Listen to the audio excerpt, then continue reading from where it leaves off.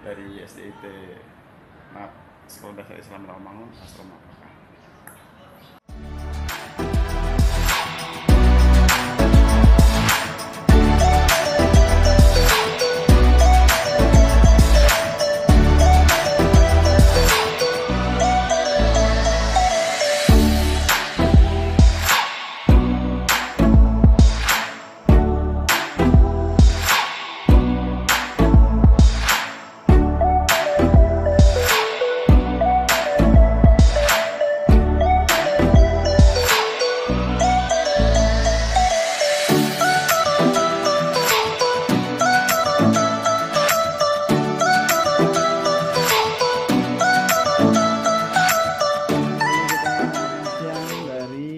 Makan Cahaya Baru nggak ada endorse sama sekali. Di seberang sana ada guru-guru perempuan.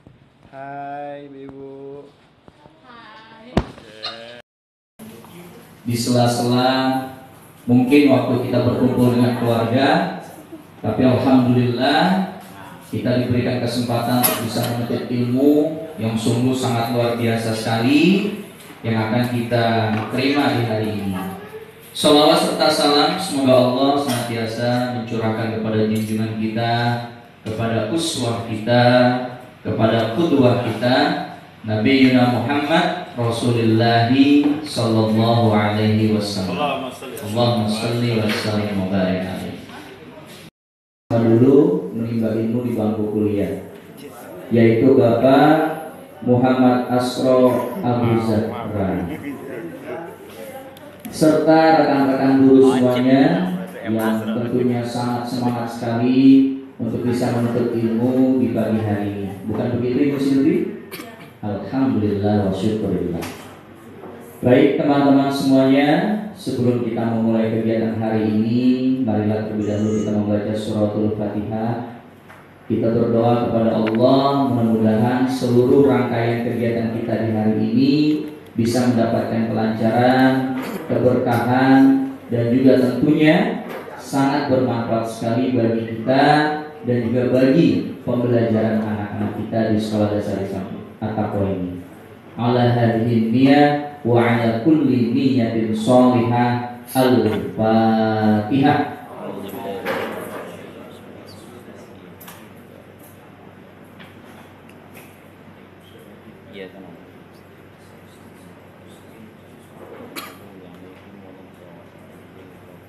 Amin amin amin ya rabbal alamin. Setelah ini mari kita membaca kalimat basmalah. Bismillahirrahmanirrahim. Selanjutnya mari kita dengarkan bersama-sama sambutan dan arahan dari Bapak Kepala Sekolah kita sebelum kegiatan pelatihan ini dimulai. Pada Bapak Nasruddin dipersilakan.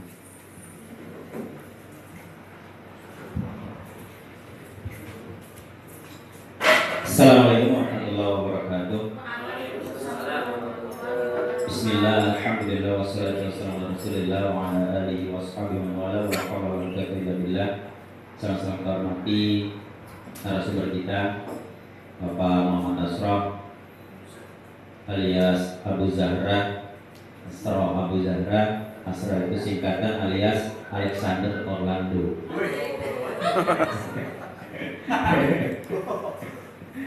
Jauh dari tanah apa ya? Jurut Purut di Jakarta Selatan. Terima kasih ahlan wassalam kepada Bapak Asraf. Mudah-mudahan ilmu yang beliau berikan ilmu nafi'ah yang bisa kita manfaatkan terutama dalam proses pembelajaran di SD Islam Taqwa. Salam dan salam sudah kita aturkan dari kita Nabi Muhammad SAW. Bapak Ibu yang hormati, hari ini insya Allah kita akan menimba ilmu dan sharing pada kawan kita karena beliau kelas kami di uh, UNJ yang beliau berkecimpung di dunia IT khususnya uh, dalam pembuatan media. Hari ini kita akan mencoba pertama mendesain modul yang kita buat bisa lebih menarik dan terutama sesuai dengan kaidah-kaidah dalam desain grafis. Yang kedua, bisa kita manfaatkan dalam uh, media di kelas sehingga materi yang ingin kita sampaikan itu dapat mudah diserap atau mudah uh, apa namanya diperhatikan atau uh, dicerna oleh anak-anak didik kita. Mudah-mudahan sekali lagi di hari ini kita dapat belajar lebih banyak dan selanjutnya dapat kita manfaatkan dalam proses belajar kita. Kami sekali lagi mengucapkan terima kasih kepada Bapak Muhammad Nasrah. Mudah-mudahan pada kegiatan kita pada hari ini selalu dari Allah Subhanahu Wa yang saya sampaikan. Kurang lebih maaf. Assalamualaikum warahmatullahi wabarakatuh.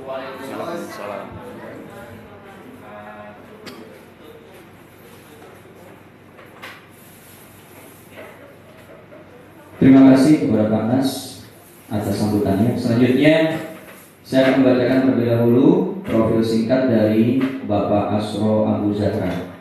Beliau adalah seorang pendidik jadi Pak Nas sudah menyampaikan yang berkecimpung di bidang IT terutama media pembelajaran. Beliau juga seorang graphic designer, fotografer, videografer, public relation terutama berkaitan dengan Arabik. Subhanallah. Jadi sangat tepat sekali dengan kompetensi yang beliau miliki untuk bisa memberikan pelatihan media pembelajaran berbasis ini. Baiklah, untuk mempersingkat waktu, saya langsung serahkan kepada Bapak Asro untuk memulai kegiatan ini. Pada Bapak Asro, dipersilakan.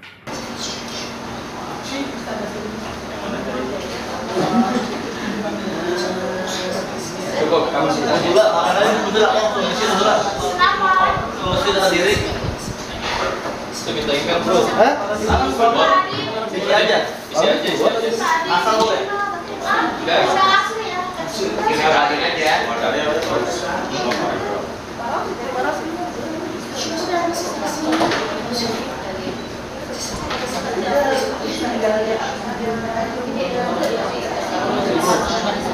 Nanti ke penemuan ya.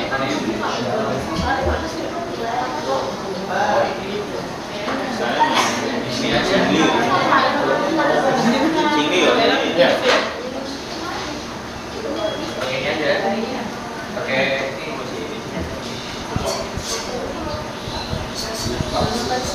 Start. Startnya mana WhatsApp?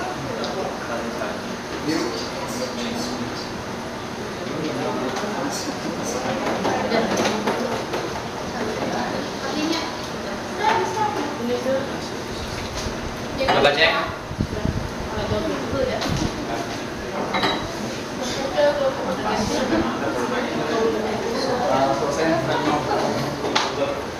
Ya. Koreksikan. Ini geser. Ya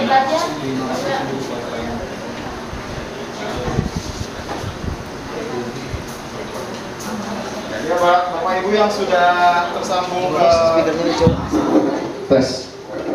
Buat bapak ibu yang sudah tersambung atau sudah ready programnya silahkan gunakan pick tool dan set toolnya untuk ngedrak ngedrak dulu yang sudah bisa mah pasti tahu lah tapi kita pengen kalian eh, bapak bapak ibu maksudnya eh, tangannya lemes dulu kita gunakan Relaksasi dulu, relaksasi. karena namanya juga Body painting. ngedesain anggap saja kanvas bapak ibu itu di depan monitor Tembili bu Masih dalam progres. Gila banget. Masih dalam progres. Itu bekalnya kurang.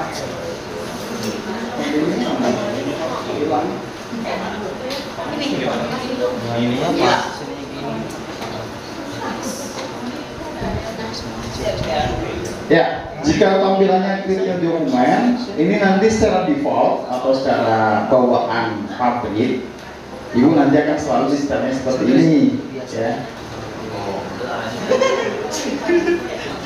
Ya, Ya, Bapak Ibu kalau terbiasa dengan publisher, ya nyaris-nyaris mirip lah. Cuma publisher tidak bisa dicetak untuk ukuran besar dan tidak bisa dicetak untuk offset print printing. Jadi sebagus apa pun desain Bapak Ibu percuma nanti. Sayang. Makanya kita gunakan ini supaya dengan ukuran seberapapun mereka mau kita kerjakan di program. Ya. Sudah siap? Sudah ya. Nah. Ini nggak beda-beda jauh sama Microsoft Word. Nyaris-nyaris sama. Cuma kalau di Microsoft Word kita menyeleksi berdasarkan kursor. Kalau di CorelDRAW kita gunakan Tool ini sebagai media untuk menyeleksi objek yang kita mau edit. Ini freehand tool untuk membuat garis-garis baru. Ini akan kita sering pakai. Setelah itu juga Bezier yang akan kita sering pakai. Nanti kita akan peragakan satu-satu. Ya. Lalu ada kotak atau rectangle tool. Ini akan sangat sering kita pakai. Ellipse tool. Lalu ada polygon tool menggunakan banyak versi. Sementara huruf A itu text tool untuk mengetik Bapak Ibu.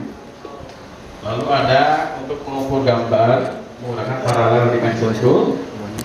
Ini ada straight line selector agak jarang dipakai.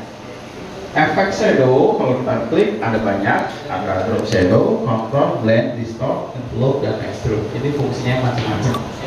Ya. Di bawahnya transparansi tool untuk menghaluskan gambar. Redraw logo buat merek kenamaan di Indonesia. Kita langsung ke modul Bapak Ibu ya. Jadi Bapak Ibu penanam ala-ala sendiri.